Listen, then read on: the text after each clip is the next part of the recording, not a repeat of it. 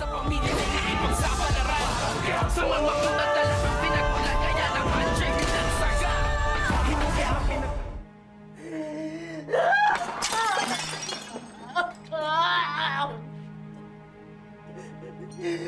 Hayop ka! Kung sino ka man! Hayop ka! Magtago ka na Hanapin kita, hayop ka!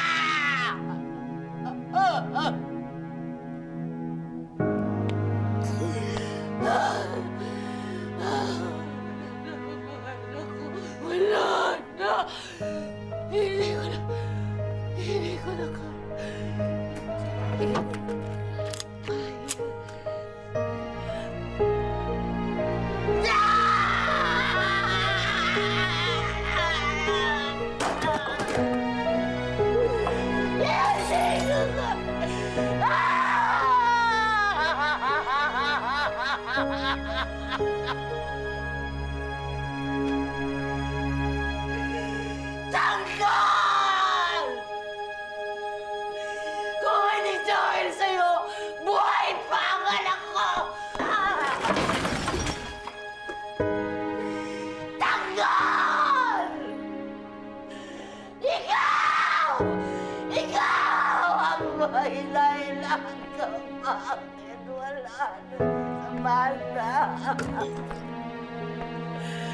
Wala na.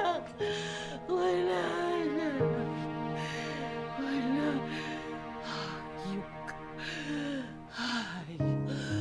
Hayop. Ka. Kung ito na lang ang dahilan para mabuhay ako, gagawin ko. Papatayin ko silang lahat. Kita.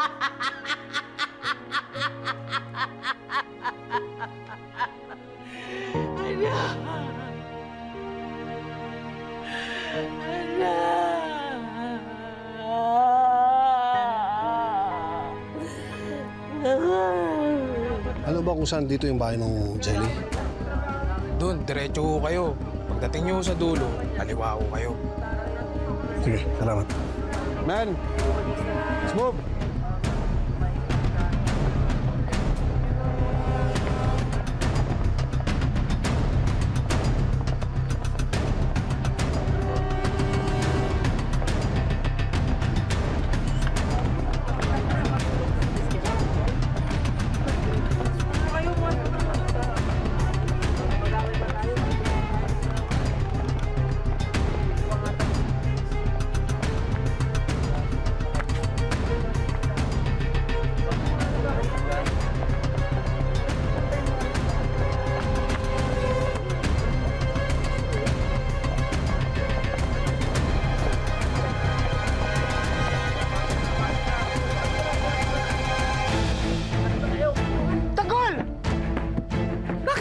May mga pulis sa labas! Ano? Tagol! Tagol! May mga pulis sa labas! Sigurado ako ikaw ang hinahanap! Ano gagawin natin? Umalis na tayo! Ayoko mang madamay dyan! Sumama ka na sa akin, malaki ang puhunan sa'yo. Tayo na! Sige na! Dali!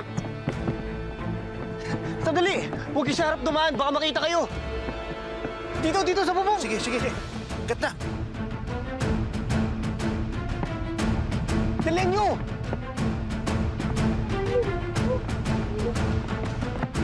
Nasaan si Tagol? Wala kaming kilalang tanggol. Men! Saan si Yeria? Sir! Kilala ko to ah. Ito yung kasama ni Tanggol sa kulungan.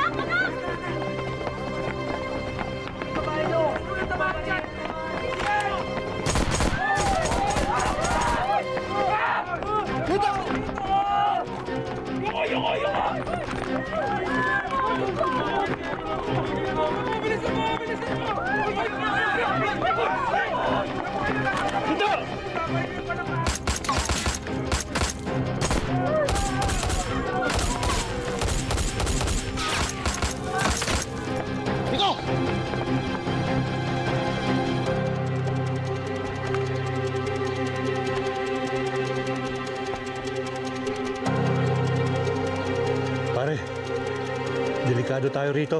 Hindi natin kabisado yung lugar. Tara. Wala pa ba yung magiging bride?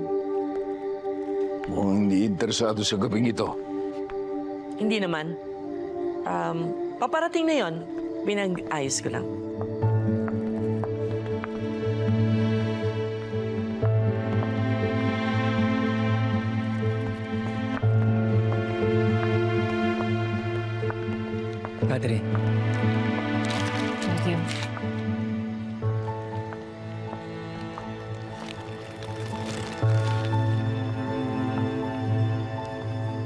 Bakit ganyan ang suot mo? Nandito na ako. Hindi pa kayo masaya? Kailan bang kasal ng mga bata? Nakapili na ba kayo ng petsa? Sa lalong madaling panahon. Huwag na natin patagalin. Anong gusto niyong kasal? Simbahan? By the beach? Kayo ang bahala.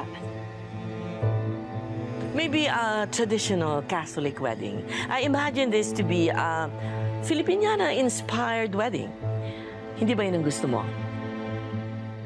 Kung ano ang gusto niyo. Kayo naman ang nasusunod sa buhay ko eh. Excuse me.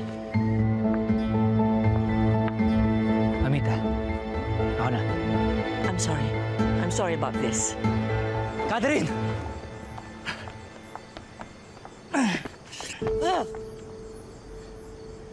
Huwag mo na ako pahirapan sa kasal natin. Ganda-ganda mo pa naman ngayon, no? Catherine, doon rin naman tayo pupunta. Ang maging mag-asawa. Kahit nagpakasal ako sa'yo, hindi ka magiging masaya.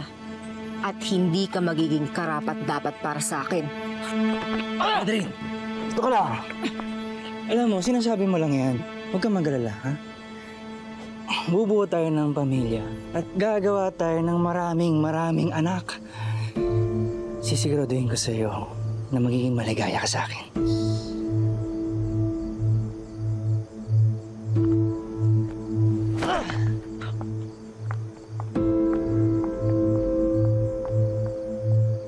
Pumunta kayo dito para mamanhikan. Pero tila hindi sang-ayon ang bride-to-be. Bakit? Atras ka na ba, senyor? Parang ikaw ang dihado dito, ah. Tanda mo. May atraso ka pa sa akin. Makukuha mo ang pera mo, Ramon. Hindi ako nagpunta dito para lang mamanihikan. Nandito ko para singilin ka. Ano bang pera ito? Usapang negosyo ito, Bettina. Huwag kang makialam. Ginamit niya ang pera namin. Hanggang ngayon, hindi pa niya na ibabalik. Hindi ko ginagamit ang pera ninyo. Binigay niyo sa akin para linisin. Nililinis ko ang pera ninyo. Hindi lang liquid sa ngayon. Ramon, inihanda naman ipakudo yung pera natin. Okay.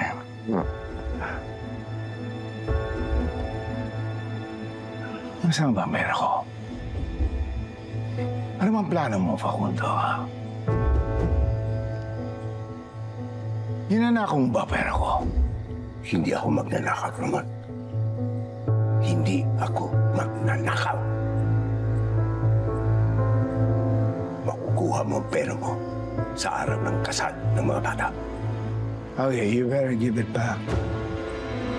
You better give it back or else I'll make you pay one way or another. Are you threatening me?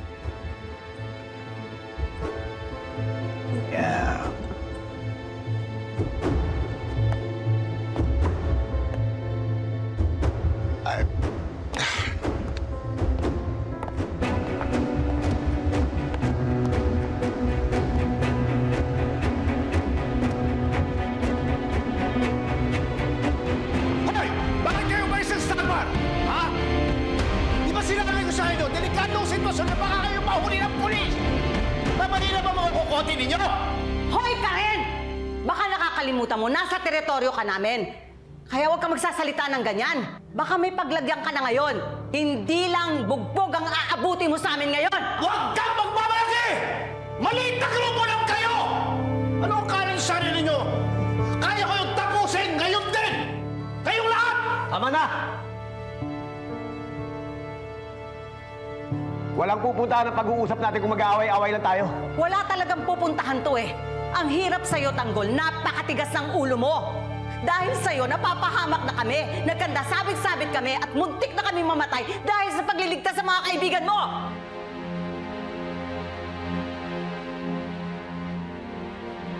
Pasensya na.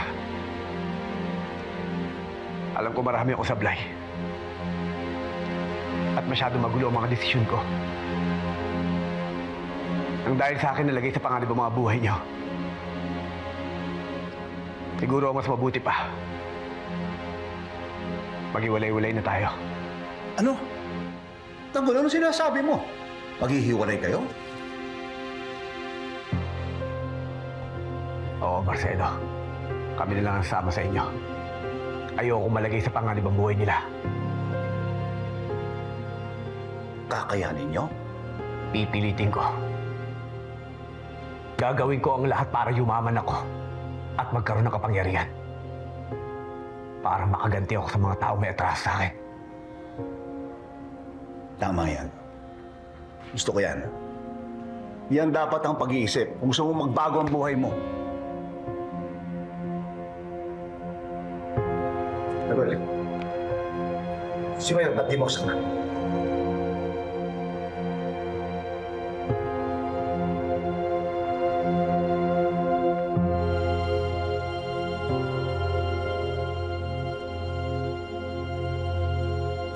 Tay. Patay na si Mayor. Pati si Bubbles. Yan ang sinasabi ko sa'yo, Primo. Kapag sumunod tayo kay Tanggol, mamamatay tayong lahat. Tanggol, tara na.